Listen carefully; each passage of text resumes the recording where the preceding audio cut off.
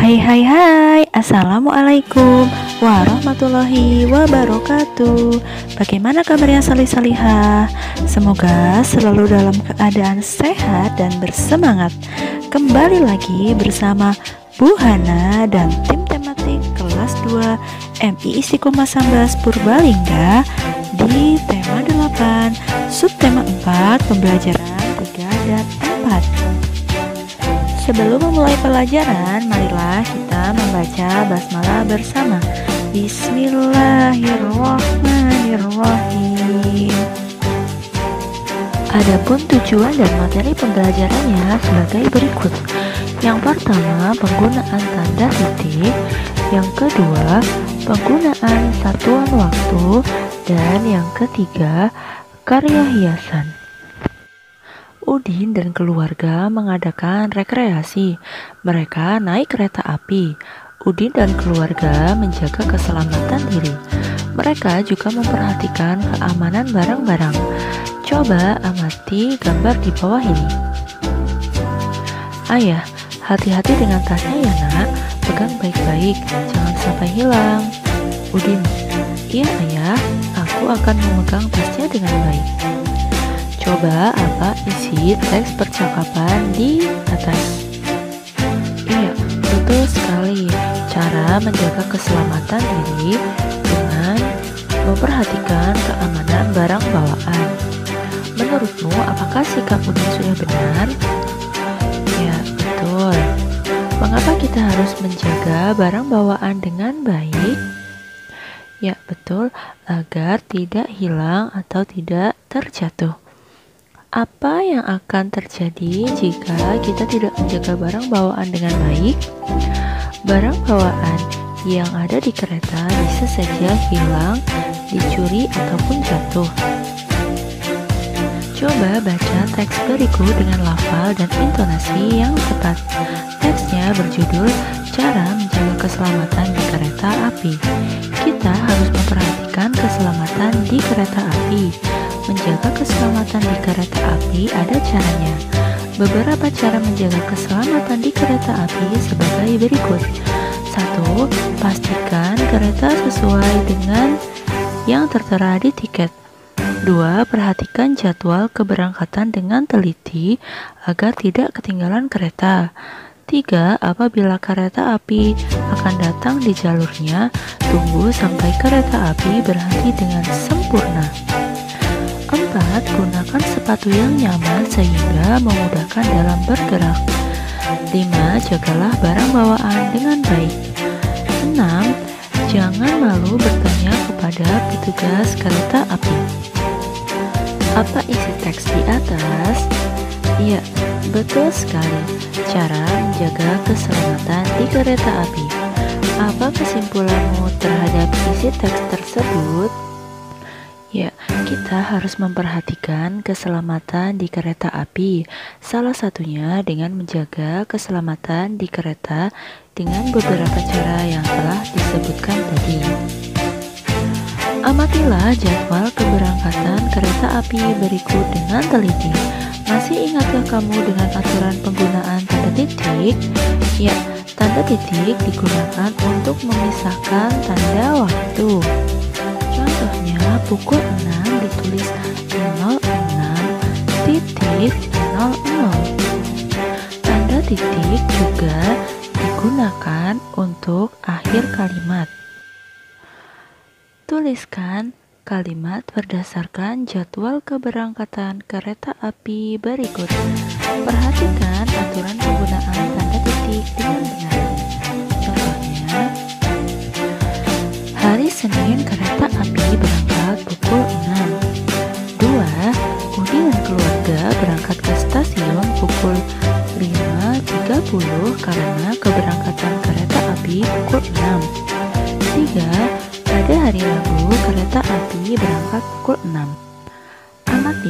Gambar berikut ini dengan teliti. Masih ingatkah kamu berapa hari dalam satu bulan? Ya, betul sekali 30 hari. Banyak hari dalam satu bulan, rata-rata 30 hari. Jadi, kereta api berangkat 30 kali dalam sebulan. Ayo berlatih bersama. itu, kereta api tujuan Jakarta-Bandung melakukan perbaikan selama 60 hari. Berapa bulankah lama kereta api tujuan Jakarta-Bandung melakukan perbaikan? Caranya yaitu lama hari dibagi 30 60 dibagi 30 sama dengan 2 Jadi perbaikan dilakukan selama 2 bulan 2. Uji coba kenaikan harga tiket kereta api dilakukan selama 90 hari Berapa bulankah uji coba kenaikan harga tiket dilakukan?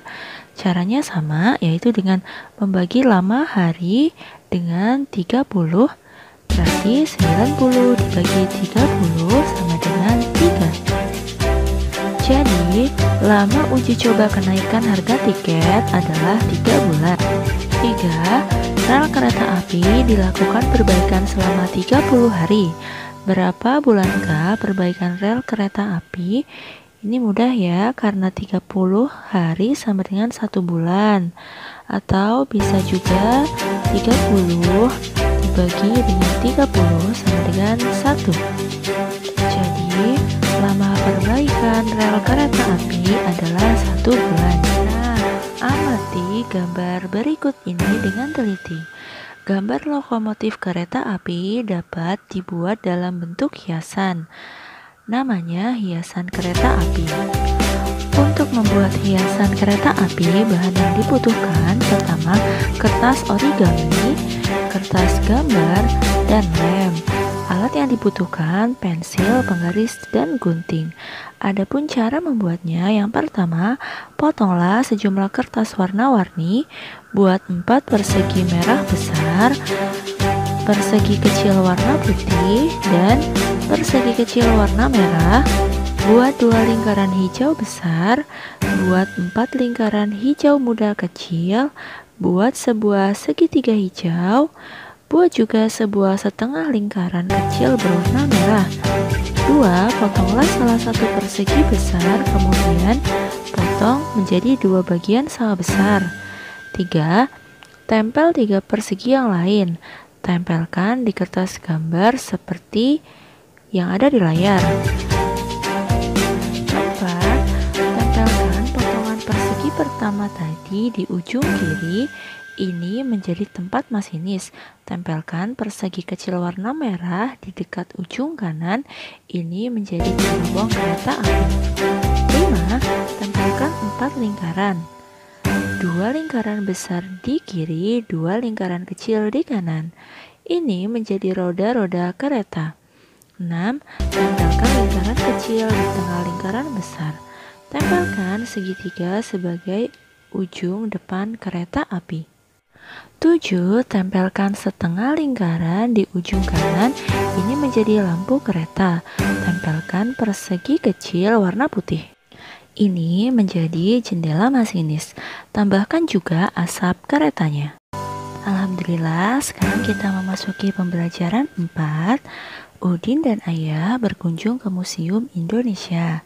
Museum Indonesia terletak di Taman Mini Indonesia Indah atau TMII.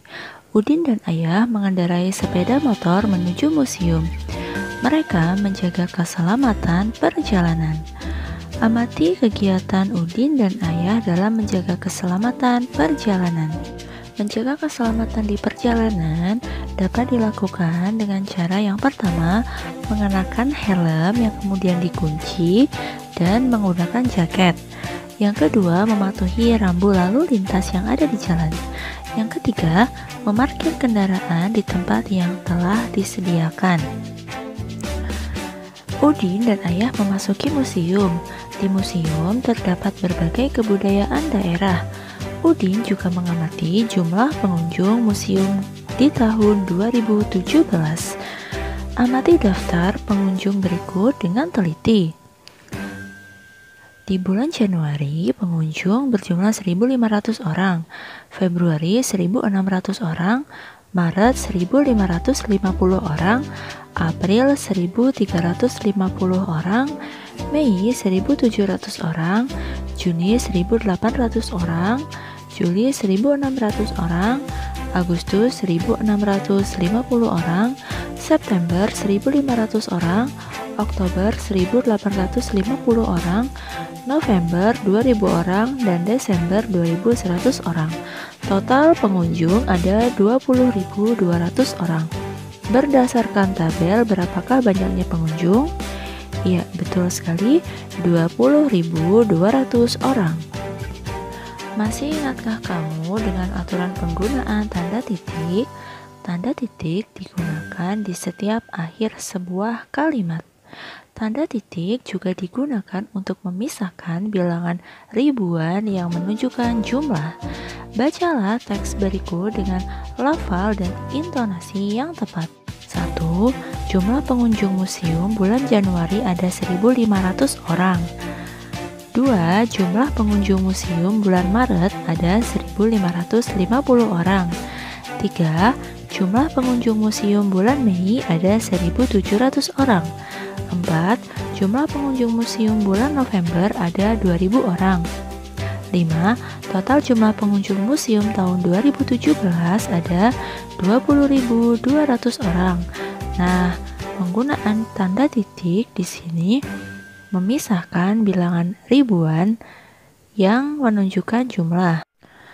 Cara menuliskannya yaitu dengan meletakkan tanda titik pada tiga angka yang dihitung dari belakang. Amati kembali tabel pengunjung Museum Indonesia sepanjang tahun 2017. Berapakah total jumlah pengunjung di tahun 2017?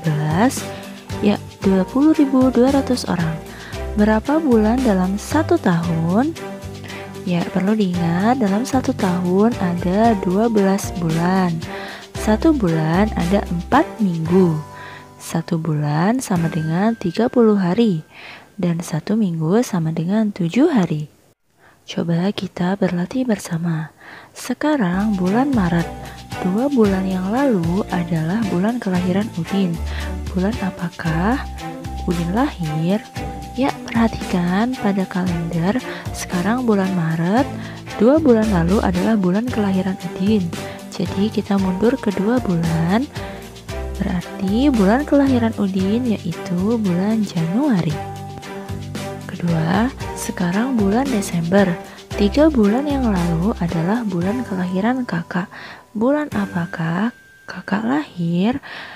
Berarti sekarang kita ke bulan Desember mundur ke tiga bulan yang lalu. Desember, November, Oktober, September. Ya, betul sekali. Kakak lahir di bulan September. Nomor tiga, sekarang bulan November. Satu bulan yang lalu adalah bulan kelahiran adik. Bulan apakah adik lahir? Ya, sekarang kita di bulan November mundur satu bulan satu, yaitu di bulan Oktober. Dari bulan Agustus kita mundur lima bulan ke belakang. Sebelum Agustus yaitu Juli, Juni, Mei, April, Maret. Jadi, ayah lahir di bulan Maret. 5. Sekarang bulan Juni. Empat bulan yang lalu adalah bulan kelahiran ibu. Bulan apakah ibu lahir? Ya, mulai dari bulan Juni kita mundur empat bulan ke belakang sebelum bulan Juni yaitu Mei, April, Maret, Februari. Jadi ibu lahir di bulan Februari. Selain mengamati tabel banyaknya pengunjung, Udin juga melihat berbagai karya hiasan dinding. Udin melihat hiasan dinding dengan teknik percik. Perhatikan gambar berikut dengan teliti. Tahukah kamu bagaimana cara membuatnya dan apa saja alat dan bahan yang diperlukan dan digunakan? Alat dan bahan yang dibutuhkan untuk membuat karya hiasan dengan teknik percik yang pertama, bahannya ada kertas gambar, cat air, dan air. Sedangkan alatnya yaitu palet, gunting, sisir, sikat gigi bekas, kertas koran jika perlu. Langkah kerjanya yang pertama, gunting kertas menjadi bentuk gambar tertentu. Misalnya saja gambar rumah adat, Susun gedung bertingkat, bunga, rumah, atau hewan. Simpan potongannya. 2. Letakkan potongan gambar di atas kertas gambar. Gosokkan sikat gigi bercat pada sisir. 3. Tunggu sampai benar-benar kering. Angkat potongan gambar rumah adat. Bentuk-bentuk yang tertutup akan membentuk gambar rumah adat. Nah, mudah bukan pembelajaran hari ini? Kesimpulannya, yang pertama, tanda titik digunakan pada akhir kalimat. Tanda titik juga digunakan untuk memisahkan tanda waktu, contohnya 08.30. 2. Tanda titik digunakan juga untuk memisahkan bilangan ribuan. Contohnya 1000 ditulis 1.000. 3. Menghitung waktu untuk mencari bulan dapat dilakukan dengan cara membagi jumlah hari dengan 30, hasilnya adalah titik-titik bulan. Untuk membuat karya hiasan kereta api, bahan yang dibutuhkan yaitu kertas origami, kertas gambar, dan lem. Sedangkan alat yang dibutuhkan yaitu pensil, penggaris, dan gunting. Untuk langkah-langkahnya sebagai berikut. Sedangkan bahan yang dibutuhkan untuk membuat karya hiasan dengan teknik percik yang pertama kertas gambar, cat air, dan air. Alatnya yaitu palet, gunting, sisir, sikat gigi bekas, kertas karton jika perlu. Sedangkan langkah-langkahnya sebagai berikut. Untuk evaluasi tema 8, subtema 4, pembelajaran 3 dan 4, silakan ditulis jawabannya saja.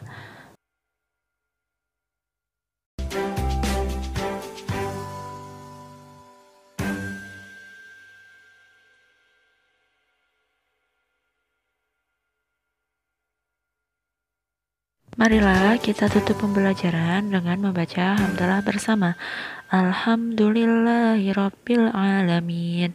Wassalamualaikum warahmatullahi wabarakatuh.